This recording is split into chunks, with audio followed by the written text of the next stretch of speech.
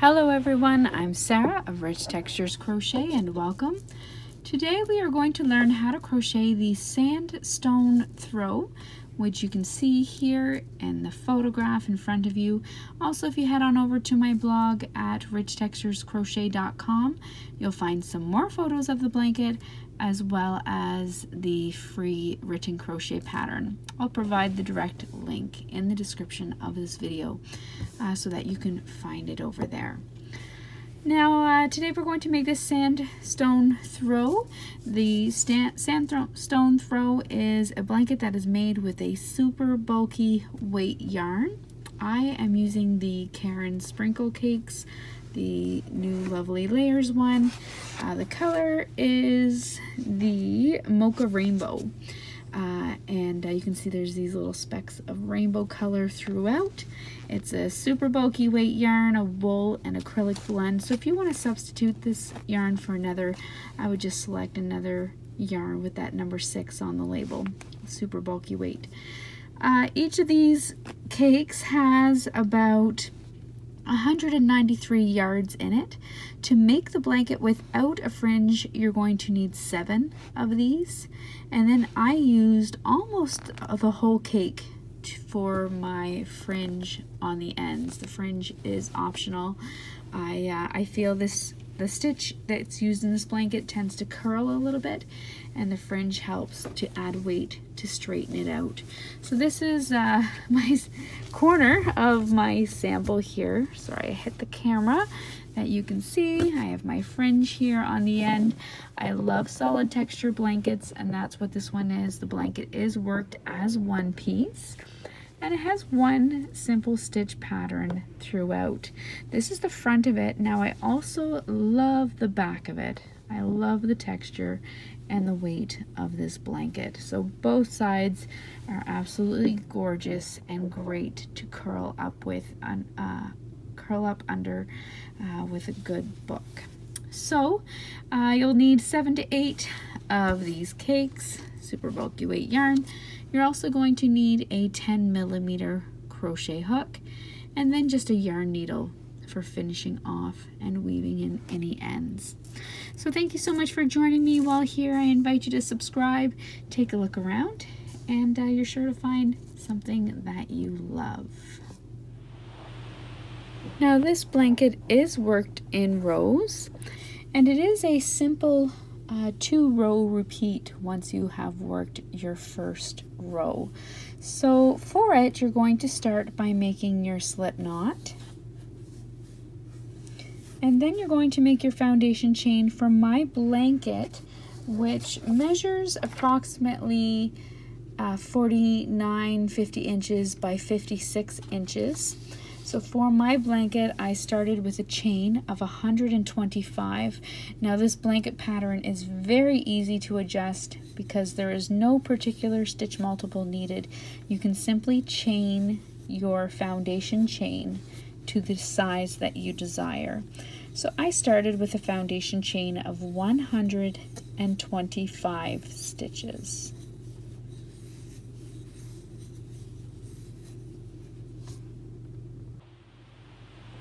Now once you have your foundation chain 125 chains long or the desired size, uh, today in the video I'm just going to work a small swatch for you so I haven't quite chained that many. But once you have it the desired size, you're going to start by working your first row and your first row you're going to slip stitch into the second chain from your hook. So count in one and two, slip stitch, into that second chain from your hook and then into each stitch all the way across. Now I, I know that there are a number of people who do not like working with slip stitches, but I find with this super bulky weight yarn and the large 10 millimeter crochet hook, uh, the slip stitches are a lot easier to work. So you're simply going to slip stitch in each chain all the way across.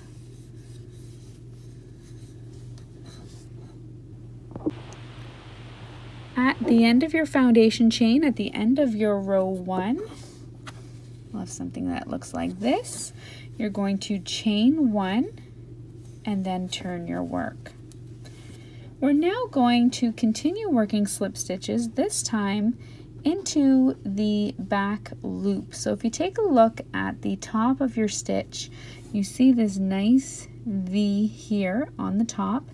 The back loop is that loop that is farthest away from you. So you're going to slip stitch into that back loop only, into that first stitch, and then continue all the way across. Always working only under that back loop only. When you come to the end of your row two, you can chain one and turn your work. At the end of your row two, this is what your work will look like. Chain one and turn your work. We're now going to continue working slip stitches for your row three. This time we're going to work them under the front loop only. So once again, looking at the top of your stitch, you see that nice V shape. The front loop is the loop that is closest to you. And you're going to work a slip stitch. I work under the loop and through and slip stitch into each stitch all the way across. At the end of your row three, you can chain one and then turn your work.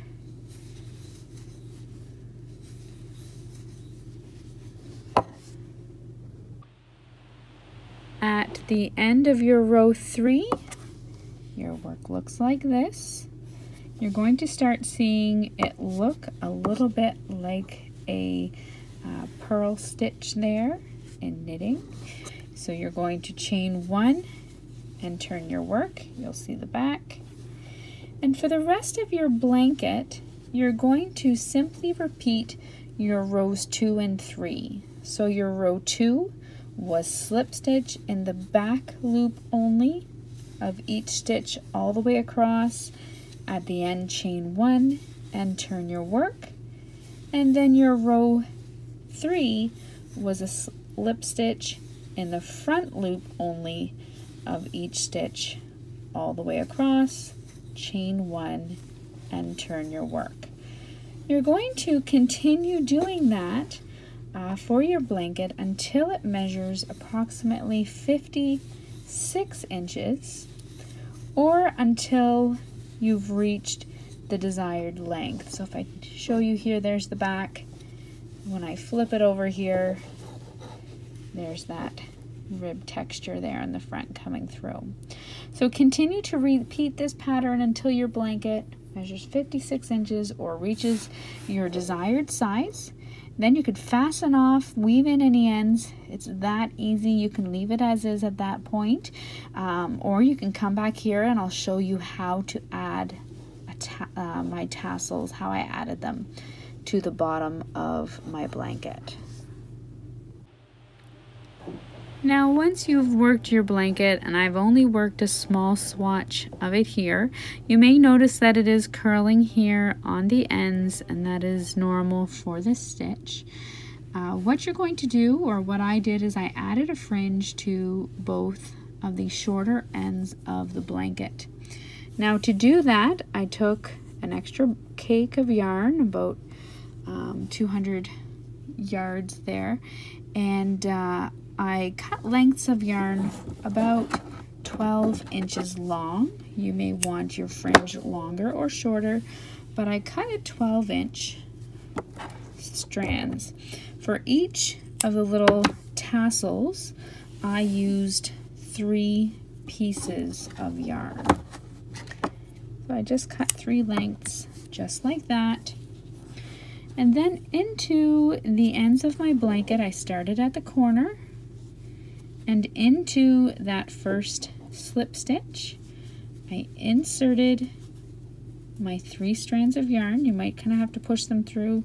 Uh, feel free to use a crochet hook if it's easier to grab a hold of them I pulled them through and this is there's many ways to do a fringe. This is just the way I like to do it because it creates a fairly secure fringe and uh, it's really easy. So I folded it over halfway like so and then I simply tied a knot wrapping all the strands around my fingers pulling them all through and then pulling that knot tight up to the top, just like so. I then repeated that process every second stitch. So every second stitch, I tied on three strands of yarn doubled over. So you have six there coming out. Every second all the way along each of the ends of my blanket and then in the end, once you're all done, you can trim those ends across the length of the blanket so that they're all even. And you should have a fairly nice, thick, and even fringe.